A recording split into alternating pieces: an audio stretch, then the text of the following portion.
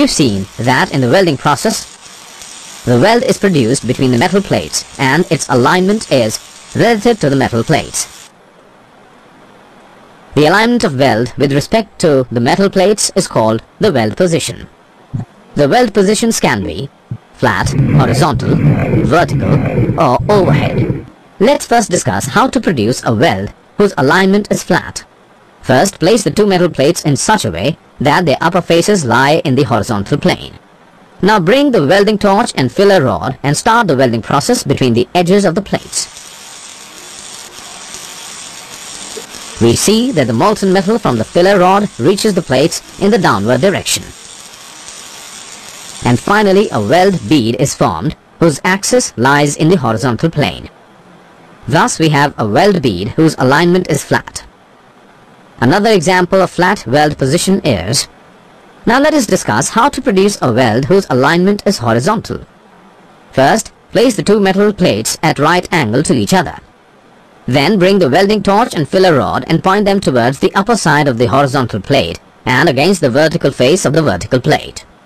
Now start the welding process from the right end proceeding towards the left.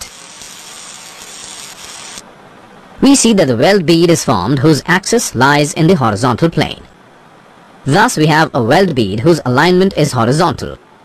Another example of horizontal weld position is Now let's discuss how to produce a weld whose alignment is vertical.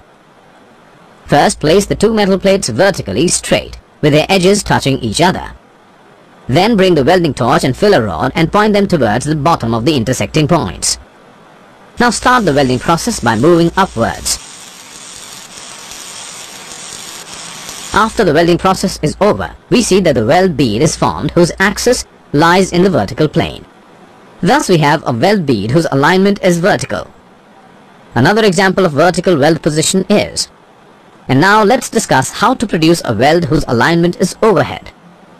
First place the two metal plates above the head of the welder. Then bring the welding torch and filler rod and point them towards the end where their edges touch each other. Now start the welding process proceeding towards the other end. We see that a weld bead is formed whose axis lies in the horizontal plane but is placed above the welder's head. Thus we have a weld bead whose alignment is overhead.